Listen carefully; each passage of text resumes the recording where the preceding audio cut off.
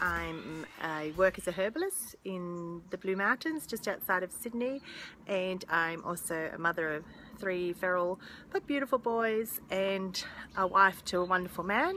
And I've just been video blogging or well that's what I'm calling it. I don't know if it's called video blogging but anyway. Um, and I've just realized that I've been recording it in the wrong direction so hopefully this one now fills the screen and yeah so what am what am I doing I'm doing a marathon uh, my first marathon and I'm doing it plant-based and I've started by um, with a juice fast. I've just done seven days and I did decide to break the juice fast last night. I was going to do 10 days, but I just felt...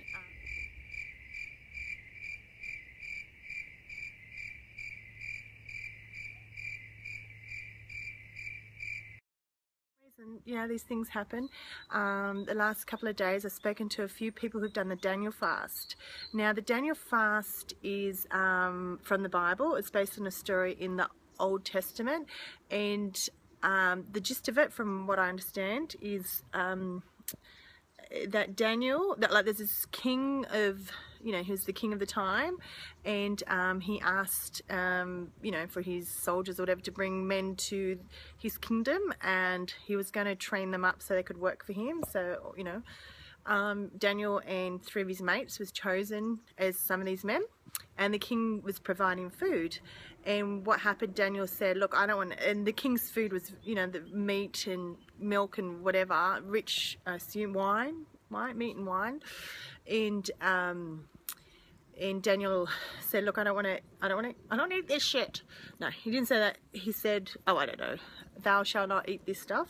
And the so the guard who was looking after him kind of panicked and said look I want you please eat it because if you don't eat it then I'm going to get in trouble off the king because it's the king's food and he'll be really offended if you don't eat it and then Daniel said look okay what we'll do is for 10 days I'm going to eat just um, sea oh sorry pulse in some Bibles it says pulse, other Bibles it says vegetables. But basically what the gist is, I think, um, food from seed for 10 days and only drink water. And if we fail in health by then, um, you know, we'll eat the king's food. And the guard said, okay, no worries. Because the guard was worried about that if they did this, that they will get sick. And so 10 days later, um, Daniel and his three mates um, were like full on fit as, looked awesome and really healthy and proved the guard's concerns wrong. And from that, um, a lot of people in modern times today um, do this Daniel fast and it is a bit of a spirit. I am a woman of faith so it did really resonate with me in that level but also as a natural therapist when I read this I was like wow that really just um, kind of confirms my thoughts on healing. Like, I do believe that plants are healing foods, and um, yeah, so I was kind of excited to read to, to read that passage, and I thought, you know what, I'm gonna I'm gonna do this myself.